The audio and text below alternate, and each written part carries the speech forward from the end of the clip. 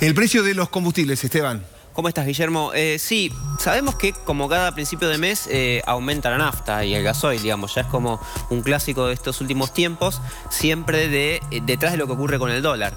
Ahora bien, tenemos una novedad. El gobierno acaba de anunciar que mañana va a publicar en el boletín oficial que la suba de un impuesto a los combustibles que estaba previsto para junio se va a postergar un mes. O Ah. sea, va a ser en julio. Sí. Esto le va a quitar presión al la aumento inflación. de precios. A la inflación, por supuesto, eh, pero directamente a lo que es el precio de los surtidores.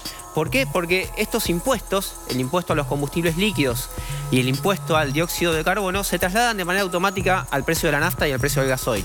Entonces, una vez cada tres meses, este impuesto se actualiza por inflación y aumenta la nafta, aumenta el combustible. Lo que decidió la Secretaría de Energía de Gustavo Lopetegui es, bueno, no va a entrar en, vi- en vigencia el primero de junio, sino que se pospone por un mes.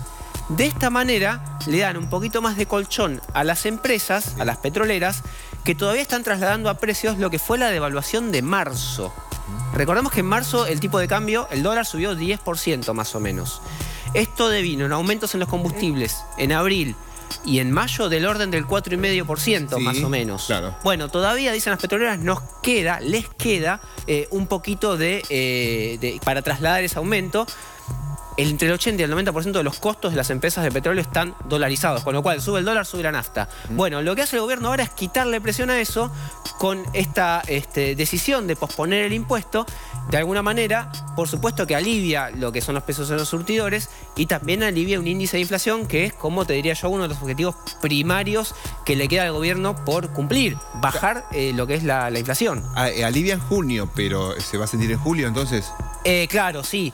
Acá tenés el- la, la famosa manta corta, digamos. Este es un impuesto eh, por el cual el gobierno recauda mucho y recauda de manera automática. O sea, cada vez que vos cargas nafta o cargas gasoil, eh, pagás un impuesto, Entra la plata inmediatamente. entra la plata. Por lo tanto, como el gobierno tiene que asegurar el equilibrio de cuentas de ingresos y gastos, porque esto es lo que se comprometió con el FMI, no puede eh, dar de baja este impuesto o reducirlo, que es algo que reclaman sobre todo las empresas, que dicen, mira, la nafta aumenta, aumentan los impuestos, no aumenten los impuestos para que la nafta aumente menos.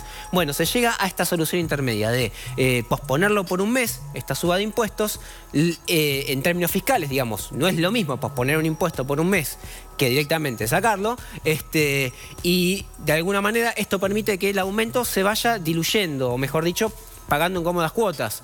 Eh, no es lo mismo pagar, pongamos, un 4,5, 5% de aumento en junio, que pagar un 3, un 3,5. El gobierno cree que esto va a eh, matizar un punto y medio más o menos el aumento. Decía que pagar un poquito ahora, un 3,5, y pagar un poco más en julio, este, que pagar todo junto ahora, digamos. Va a ser menos índice de inflación y, por supuesto, lo más directo, menos impacto en el bolsillo.